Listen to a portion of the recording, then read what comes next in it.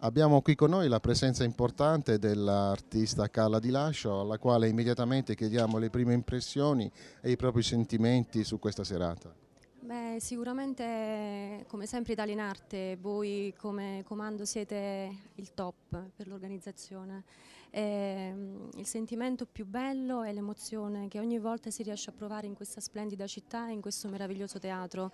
Eh, ringrazio Italia in Arte, tutto lo staff, l'organizzazione, la vostra presenza per quello che fate, per tutto, per tutto ciò che è realizzato in favore dell'arte e per la società. Mm, questa è la cosa più importante, è un sentimento unico, meraviglioso e indescrivibile. Grazie delle tue attenzioni e soprattutto due parole sulla tua arte se c'è qualche novità.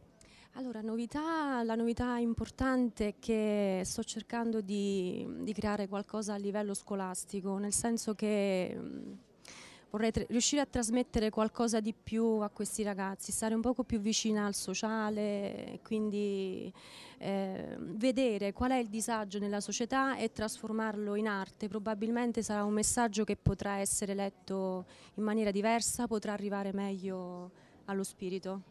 Molto impegnativo, i miei complimenti e grazie, grazie di essere venuta. Grazie tante anche Ci a vediamo sul palco. Sicuramente, la ringrazio.